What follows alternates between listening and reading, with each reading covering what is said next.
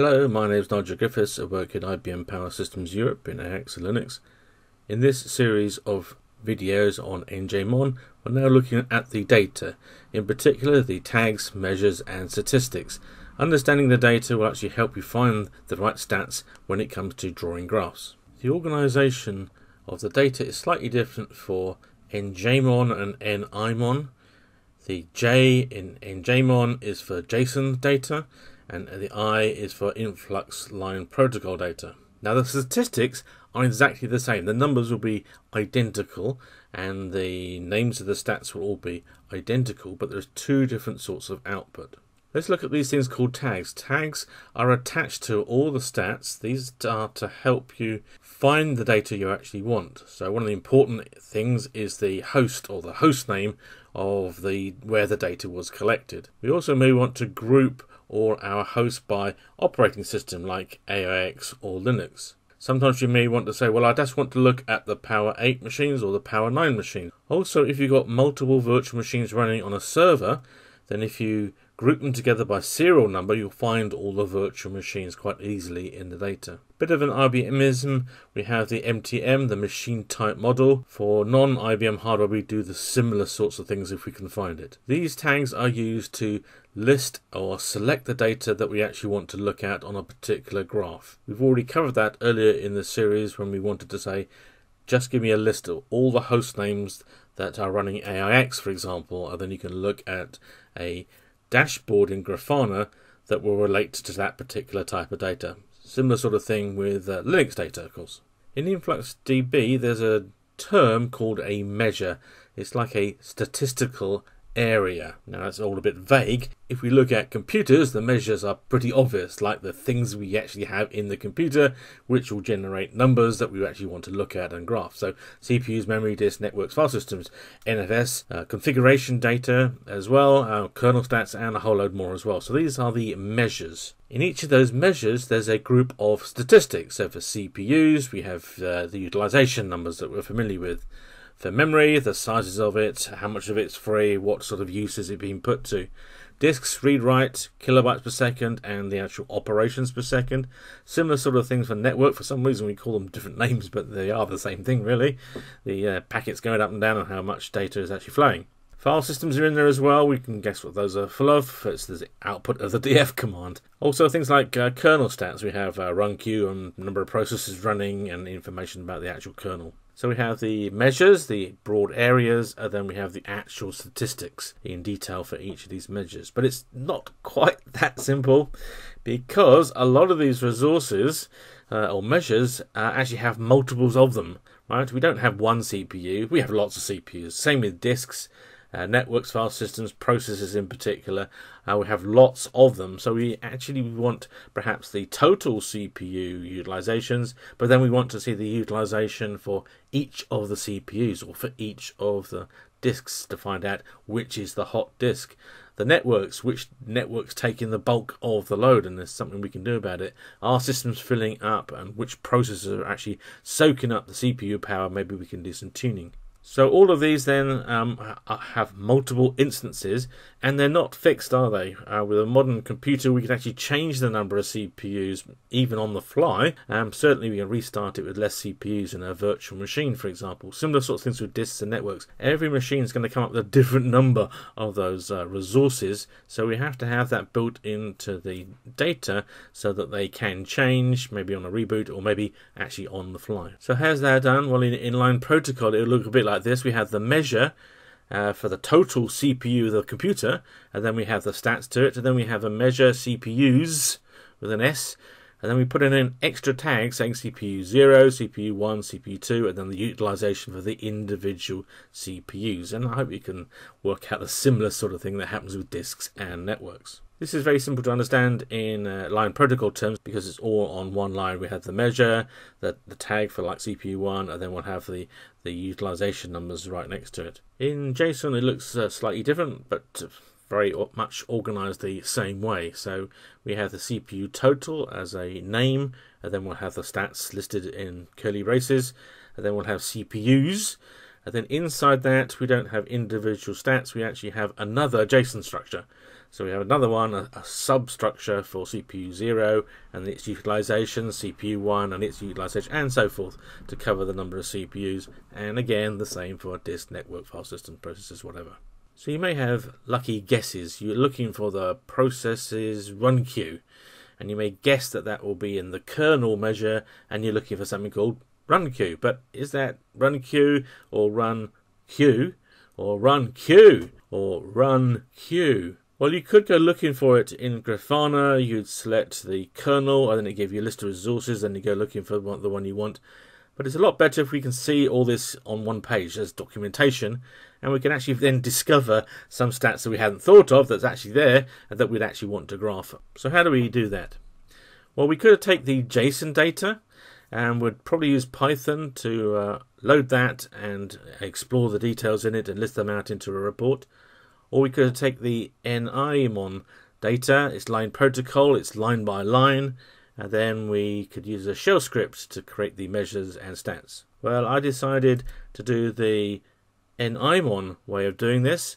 So we'll run NIMON to get the data and see the measures. Don't forget though that the measures and stats will be exactly the same in the JSON data, so it doesn't matter which way we take it.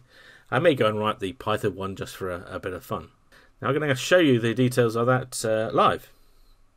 The way we do that is we're going to run an imon, Linux or AIX, doesn't matter. We're going to ask it to give us one set of stats after one second and save it in a file. And then we're going to use this shell script, nmon list stats, give it the file name, save it into a, file because uh, it's quite big, and then we'll uh, actually can have a look at the report and see what's going on. Actually, this is a very useful exercise because it told me how many measures and stats we actually get. On the AIX side, for a fairly small virtual machines, two CPU cores, four disks, two networks, we're getting 1,400 stats. You can see there's 22 measures uh, in that. On the, the Linux side, uh, similar sort of uh, config, uh, just one disk and one network in this case, and uh, 840 stats or so. Now, if you switched on the collecting the process stats, that could go up by a factor of 10 or 100 if you've got lots of processes running that really balloons out the number of stats. So be careful with that. Only collect those if you really want to look at them. So here I am on my favorite AIX machine. Here's NIMON, not a very big program, and here's the shell script. It's not even very large, is it? So let's run NIMON we're going to ask it to do one capture after waiting one second and put the output into a file. So that's the uh, PID has been pointed out there. We can use that to stop it later on if we wanted to capture that in a shell script. Uh, leave it a couple of seconds, just let it finish because there's a little bit of a startup time. And there we go.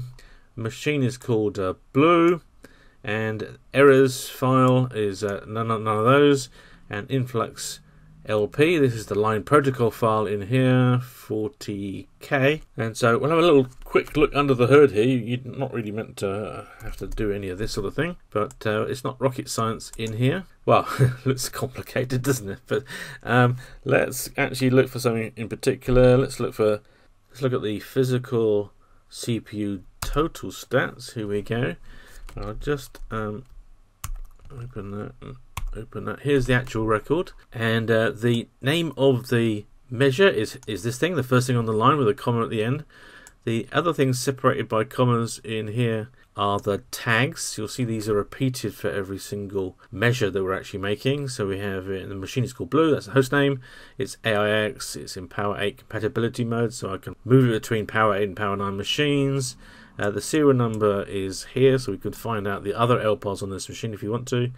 That's all in there. Here's the MTM. This means it's a Power 9 scale out model 2.4. Um, then there's a space. That's significant. That ends the tags in here.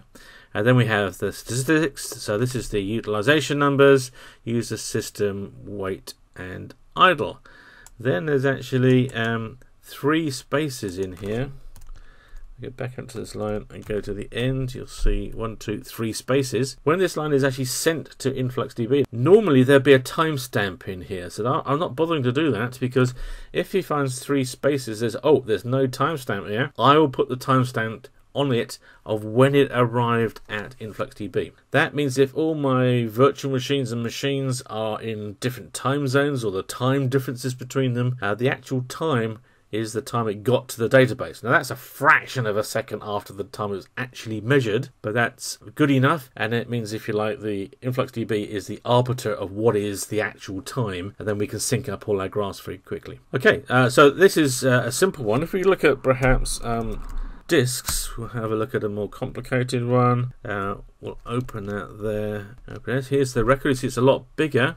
So it's disks with an S in here, so there's multiple of them. Um, same, same tags as before, is identical, they're the same every time. Ah, but now instead of a space, we now have a comma and this disk name HDisk6. Then there's a description of it as a virtual SCSI device, and this is a Scratch volume group, and down below the root volume group. And then we have all the stats, the block sizes, the free, the, the data rates, the number of transfers are actually very low in here. I took the snapshot when the machine was largely idle, so we don't see very much. But we can see uh, disks, disks, disks, and disks. And then uh, then we have the actual disk totals in here as well, as we covered before. Right, if we come out of here and we run our script and we give it the if we do it like this we'll see it outputs all the stats and all zooms off the screen. Well, that's not much help, is it? So let, us do that again. I'll save the output as a stats.txt. You can name these anything you like, but uh, that will do. Stat. One, two, three. Now it's done. All right, now if we VI that, then we can have a look at it and browse up and down.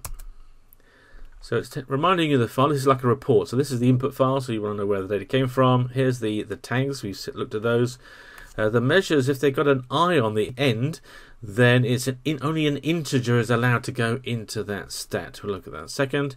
Otherwise, it's a string which has double quotes um, or a floating point number, and uh, njmon and nimon use uh, three decimal places.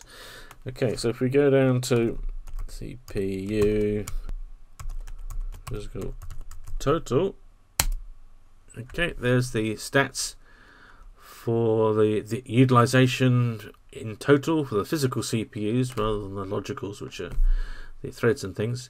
Up in here, you can actually see there's an, there's an I in here because these are integers for the individual CPUs. If we go down to disks, we can see a similar sort of thing. In here, oh, this is the total disk measure at the top of what's going on with our disks. As you saw, there was nothing actually happening. If we go up a half a page, then we have disks with an S and it's just my convention um, and we have a disk name hdisk1 and we'll see that that's in uh, root vg and again all the stats and the queued lengths and timeouts and all those sorts of things you can get off the disk these days. You can actually see how big it is that's 128 gigabytes. Okay so that, that's what we get in the report.